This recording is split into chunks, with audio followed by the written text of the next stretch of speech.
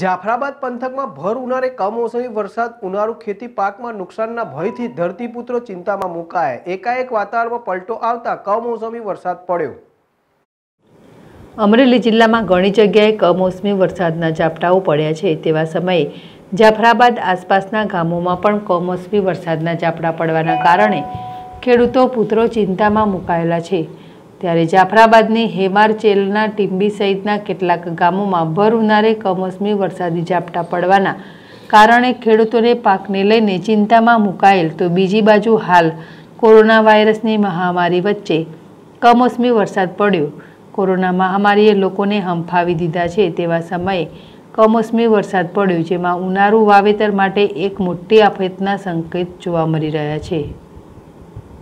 અશોક છેડેશ ટીવી અમરેલી.